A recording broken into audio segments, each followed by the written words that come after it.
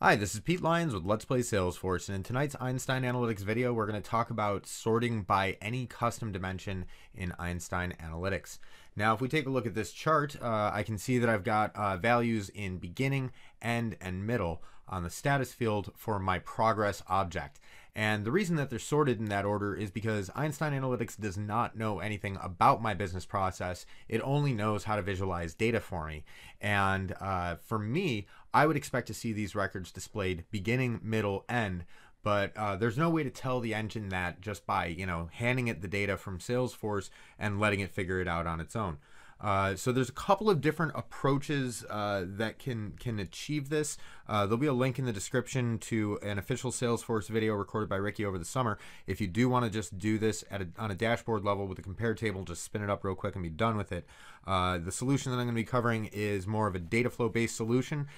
Uh, so how are we going to tackle this? Well, first we're going to jump into our data flow editor. I've got a very basic data flow right here. I'm going to get my progress records and then I'm going to register them. So the next thing I'm going to need to do is create a compute expression. I'm going to declare the source as get progress and I'm going to add a field. I'm going to call it sort status. And the way that this is going to work is basically we are going to prepend numerical values before our uh, pick list options. And you might say, oh, wait, wait, wait, but I don't want to see 0, 1 beginning. I just want to see the word beginning. Well, don't worry about that. We'll we'll get to that part. That is that is going to be a thing. Uh, but first, we need to get a field that's going to allow us to sort in the first place. So to do this, we need a case statement.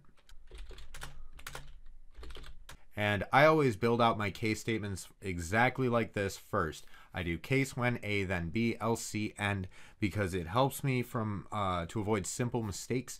Like I often forget the word and, or I put commas between my when and then clauses because I feel that it's kind of a good point to take a breath before I continue the sentence. So uh, building in these placeholders, it's something I do with bindings as well. It really helps to avoid basic syntax errors that are going to trip you up for hours on end. Uh, so then I'm actually going to break this out into multiple segments and I'm going to have my cases or my case at the top, uh, my series of when thens, and my else end at the bottom. Uh, so first I need to build out just one of these.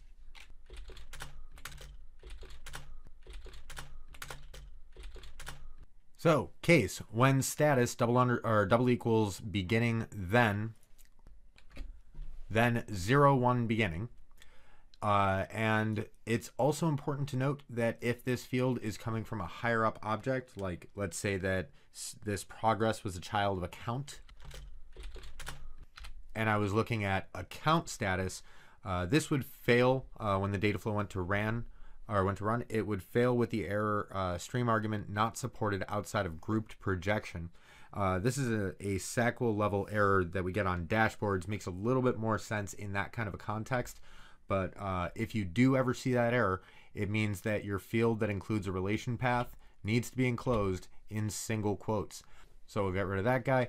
Now we're going to clone this uh, out for our different values. I like to do this in Excel. Uh, if I have a lot of these values, it makes it a lot easier.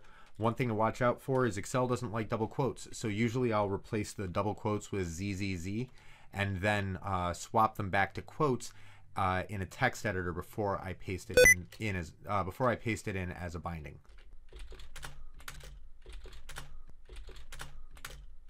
And for my end clause, I do want to have a catch-all uh, in case a new value is input uh, at a future time that uh, the system wasn't ready for. Otherwise, I can also uh, fall back on the default value field within my compute expression. And the reason why we do want to make sure that one or both of these is populated uh, is let's say that I added a future stage of brunch that's you know before the the the middle but after the beginning. So if we created a new stage, yeah, we'll we'll just call it brunch. Uh, it's not going to know what to do with that. We need to have some kind of fallback so that that data doesn't just get buried. So I'm going to say in that case, just you know, give me the actual status field as it existed. Uh, and if I wanted to be really fancy, I could even say, give me a zero zero space and then the status field uh, so that it would be sorted up to the top and those uh, miscreant brunch values would be easily recognizable as uh, bad data that we would need to go to, well, not bad metadata actually, that we would need to go to our analytics admin to get corrected. Uh, so then I'm just going to save that guy. And now I'm going to change the source of my register to take my enriched progress node. Update and run my data flow. Hop over to the monitor, spam that refresh button. And now it's ready, so we can go take a look. Uh, so back on that same dashboard, that field doesn't exist yet because the data flow uh, hadn't run when the dashboard was created.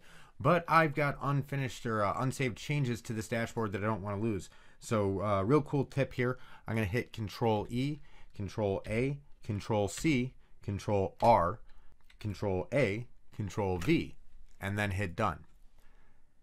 So what did that do? That actually just went to edit mode of the dashboard, copied my JSON, reloaded the page, and pasted it back in for me so that my unsaved changes are preserved even though I reloaded my page. Uh, so now I should have access to that field. So if I go and I edit this chart, instead of status, I've got sort status and I can see that I got my 0 1s, my 0 2s, and my 0 3s for beginning, middle, and end. And if I did add additional values in, they would show up as 0, 0, whatever their value was, and they would be at the top. Uh, which is, you know, I always add the 0, 1 instead of just 1 because if you end up with 10, then it's going to be in the wrong order too. So, important thing to know, you do always want to put a 0 in there. Uh, so, so wait, you say though, I thought you said we were going to get rid of that 0, 1, 0, 2, 0, 3. Well, we are. So how are we going to do this? Well, I am in a Spring 19 org right now. You do still have this functionality prior to this release. So if you're watching this video, uh, you know, sometime within the first month or two after it's released, the uh, editor for this is going to be slightly different visually, but the same functionality is there. You want to explore the data set. Now notice I'm exploring the data set from here and not just going to the data set editor uh, or the lens editor from the dashboard level. I do need to do this directly from the data set. And I'm going to click on this fields button up here. And up until now, everything's the same that you're going to see in uh, winter 19 and prior. Uh, but when we get to here, it works a little bit differently. So I'm going to click on this sort status. I'm going to go to edit values. This screen's where it's different. We got a really nice improvement uh, to this screen in the new release. It's actually super usable now. Uh, and all I'm going to do is just edit the labels on these and get rid of those numbers. And notice how it's preserving that 0, 1 as an API value and uh, we still uh, have that nice label that we want. We could also add in default colors right here. Uh, so we'll do that just for funsies to, to see some, some of the different variations there. Uh, and I won't choose the absolute brightest primary colors like I usually do, make it a little bit easier on the eyes. Uh, so now I just hit back here and I hit save down at the bottom, say yes. And then who was paying attention last time? It's control E, A, C, R, A, V. Done.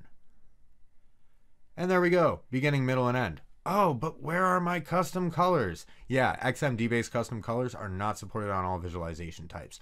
But if I did want to see those colors, I could just switch to a visualization that does support it. Look at that! Beginning, middle, end, all in the colors I want. Hooray, dataset fields! So there's two main gotchas to this approach. The first, as we discussed, is these miscreant brunch values that are not going to be automatically sorted. I did explore some different options to try to automate this process, uh, and the long and short of it is, it's just way too much of a lift. You have to be able to, you know, push via the APIs to uh, update your XMDs create mapping tables in Salesforce. Uh, it's a big pain and you don't want to do it. The second gotcha is something that we actually can deal with, and that is well, what if I'm already using this status field in various places such as dashboards or possibly even data flows? Now, I don't want to have to go back and update all of those various references. So, what we need to do is get rid of that original status field, rename our sorted status to status, and then get rid of our sorted status field. So first, what I would do is create a slice node right after that enrich progress where we create our sorted status field. And I'm just going to slice off the original status double underscore C. Then I would create a new compute expression now that that API name has been freed up. And I would create the status double underscore C field from my sort status. This is just a simple field clone. uh, then I don't want that sort status there anymore, so I would slice it off and then just register my data set as normal. So it took me three nodes to do this. If you think that we should have a rename transformation that just allows us to rename columns, uh, feel free to upvote this idea on the exchange that will be uh, linked in the description. Another thing to watch out for if you do this, make sure to do this before you go and update the XMD and create values for uh, sorted status. The reason why is because now that we have that sorted status field in our XMD, when we run the data flow like this, it's actually going to break our XMD because it's going to go to look for that sorted status field in our dimensions and it's not going to find it. And uh, so it's going to break our data flow and or it's going to break our XMD and revert any changes that we've made, not just to that field. It's going to wipe the whole slate clean. So you always want to back up your XMD before you go and make uh, heavy modifications to your data flow. Uh, otherwise, you're going to end up with an error like this, which is uh, you know pretty pretty frustrating. Uh, even if you restore the data set, it does not restore the XMD. So any any modifications that you've made are going to be lost. Uh, be careful whenever removing fields from a data flow. So uh, as long as you have that in mind and you know you create the you know you do this field overwrite before you modify your XMD, you should be fine. So that's all we've got for tonight. I hope you enjoyed this video and I hope you learned something from it. If you did, please like, subscribe, hit me up on LinkedIn for stubborn determination, and as always, thanks for watching.